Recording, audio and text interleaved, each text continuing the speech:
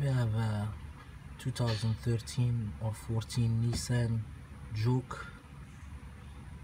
We wanna bleed the clutch, the clutch bleeding. There you go. We have this. It looks like a bleeder, but it doesn't have screw. If you push this clip and bring it back to the second, to the first position, the oil or the brake fluid start coming out from here. Brake fluid start coming out from here. I just put this hose.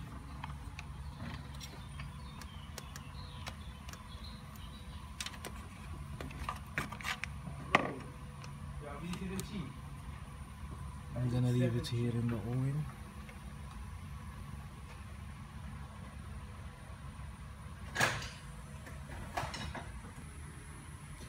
just to understand where is the second position This is the slave cylinder is inside the city. this the is where the hose goes and the clip usually holds here when we press it and bring it back it comes to the second position right here Yeah, you're right.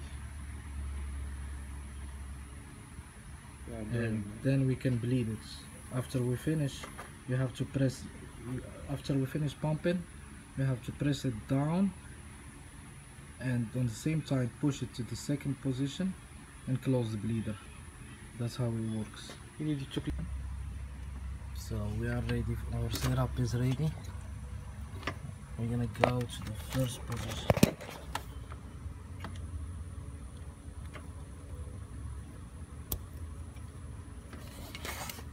Okay.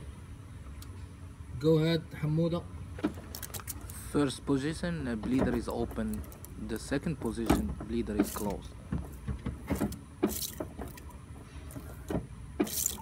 This should go like down, up, down, up, down, up, couple times on the on the clutch, pedal, and then hold it down and push it back to the to the normal position. we're gonna keep pumping the clutch until we see no more bubbles there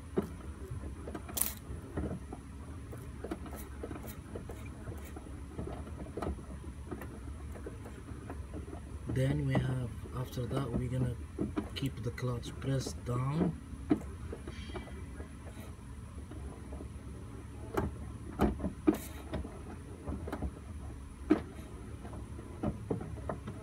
Right now you start feeling some pressure when you push the pedal. I mean we are good, we can just push down and hold it and put this to the second position. once you start feeling the pressure and you see no more bubbles coming from there?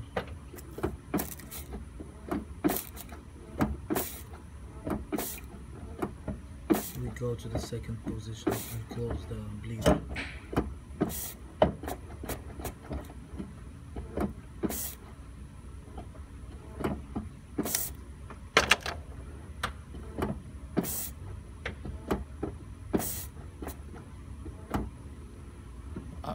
You can remove then the hose and you're good to go. Good luck.